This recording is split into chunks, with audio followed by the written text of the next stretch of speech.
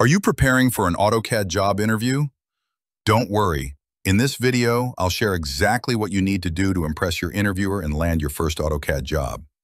Before you walk into the interview, understand one thing. Every AutoCAD job is different. Some jobs focus on civil layouts, others on mechanical parts, and some even expect 3D or BIM knowledge. Always read the job description carefully. Know what they're expecting, and prepare only what matters. Now, Revise your AutoCAD basics. They'll test your speed and accuracy. Make sure you're comfortable with commands like line, offset, trim, extend, fillet, array, and layers. Practice dimensioning, printing layouts, and using title blocks. These show your real-world readiness.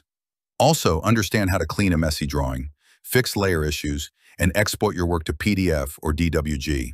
These small tasks can make a big impact in a live test or technical round. Even if you're a fresher, your confidence can make all the difference. Explain your projects clearly. Use words like scope, layers, accuracy, and deadlines. That's how professionals speak in interviews. And if you don't know something, don't fake it. Be honest. Show them you're ready to learn. Here are some common questions you must prepare for. Tell me about your recent AutoCAD project. How do you manage layers in a large file? What would you do if a plan doesn't fit the print layout? What's the difference between model space and paper space? Practice these answers out loud. It boosts your fluency and confidence. Before the interview, prepare a sample drawing, clean and professional. Bring it in PDF format, or even better, carry it on a pen drive. Revise your shortcut keys too.